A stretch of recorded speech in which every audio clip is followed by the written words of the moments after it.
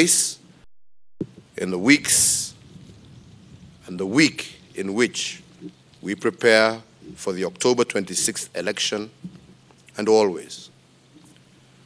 God has lifted this country before, and I trust and believe He will do so again.